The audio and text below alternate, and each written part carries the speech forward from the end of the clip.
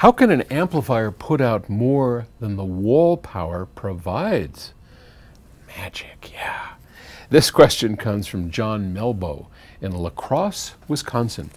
Hey, Paul, how is it that so many amps, receivers, etc., claim to rate at certain watts per channel, RMS, but the required labeling stating that the amp power drawn is actually less? That would mean that such a device are so efficient that they actually exceed 100%, like the perpetual motion machine. and we know this can't be the case. What's going on here? It seems to be pretty widespread across many brands, even long-standing ones with great reputations. As far as I know, a watt, being a unit of power, doesn't differ depending on the application. And you are correct. So there's a couple of things going on. If you look, for example, at our power plants, and I know they're, they're, not specifically power amplifiers, but actually they are. So a power plant is our big AC regenerator.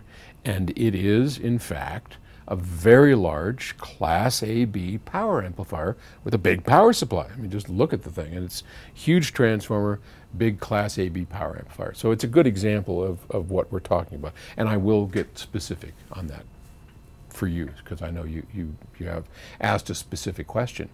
So we rate our power amplifier, our, our regenerator, lower on the back than it is actually capable of doing. So we have to run by a whole bunch of rules and regulations that a 15 amp IEC input can only handle, I think it's, what is it, 70%? I, forget. Uh, Bob Stadtherr, our chief engineer, is really up to date on, on the specifics. But, but for the point of this discussion, it's, it's enough to say that we can't say it will take all 15 amps available, or 20 amps, whatever it is, out of the wall. They will not allow us to do it. So it's rated at something less than what is it's actually capable of doing. And the reason they do that is for safety, because if, if you spec on the back that this thing is capable of taking all 1720 watts that a 15 amp circuit, I think it's 700, but 50, just, whatever 15 times 120 is, um, then that doesn't allow for anything else to be plugged into that outlet right? It, uh, it, it, most of the time, we unless we have a dedicated circuit, as we've seen in those videos from my son where he installed a dedicated 20 amp circuit, most of the time we're sharing power with other things.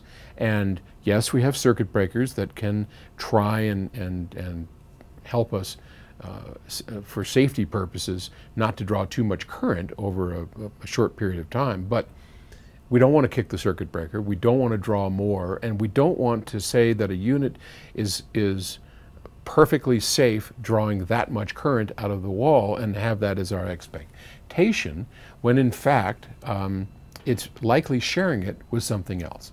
Now, that said, that's kind of why we have to do those ratings on the back that always are lower than what we're telling you you can actually get out of it. And we do the same with our amplifiers and preamplifiers, etc. So there are rules about that that we have to follow. But there's more going on than that. When you look at a standard power amplifier, there's a couple of things going on. Its RMS power is a function of a whole bunch of things.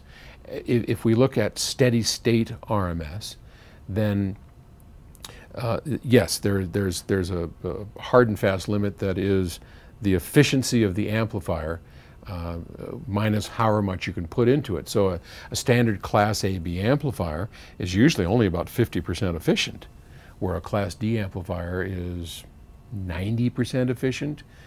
And not to confuse the issue, but our, our power regenerators are 85% efficient, despite the fact that they are Class AB, which is something we can talk about later um, because it's not germane to this conversation, but we have a pretty fancy power supply that kind of tracks the, the incoming AC waveform and allows us to get far more efficiency than what's out of the wall, but nothing is 100% efficient.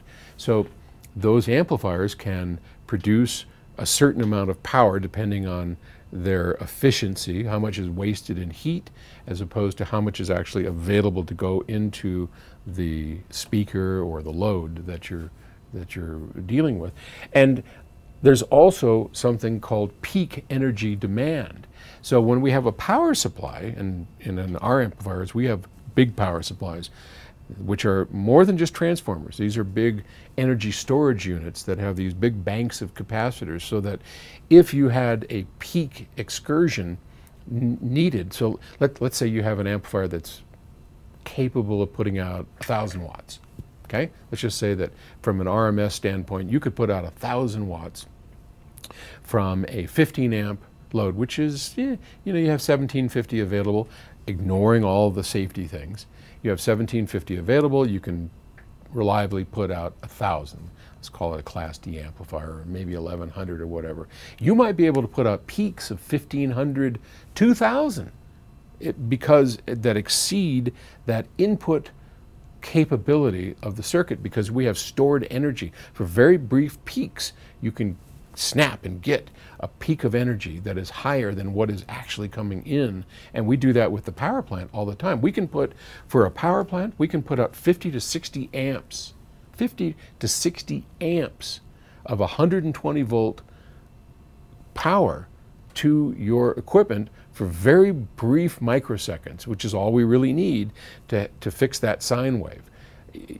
You're lucky, uh, well, you're lucky to get all 15 amps, and yet we can put out far more, 50 to 60 amps, in that situation because we've stored the energy in, in a battery of sorts. It's not really a battery, but if that makes any sense. So it's a combination of the way that they're rated that we have to do and how much energy storage, and how much efficiency that they have.